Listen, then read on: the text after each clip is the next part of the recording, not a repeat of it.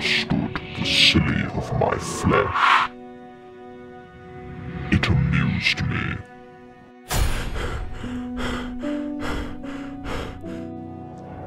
I craved the humor and mirth of ha ha.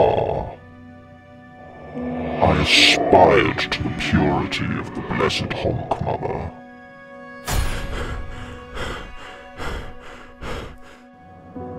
Your kind will cling your dead memes as if they will not fall flat and fail you.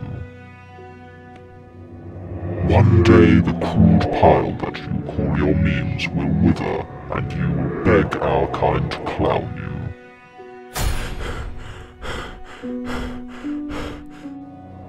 But I am already clowned.